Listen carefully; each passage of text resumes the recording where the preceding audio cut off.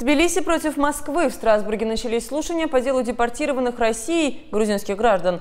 Речь идет о событиях осени 2006 года. В суде выступит бывший докладчик Совета Европы по Грузии Матис Йорш и высланные граждане Грузии. В общей сложности тогда были депортированы 2680 человек. Тбилиси требует признать, что в основе действий Москвы лежал этнический мотив.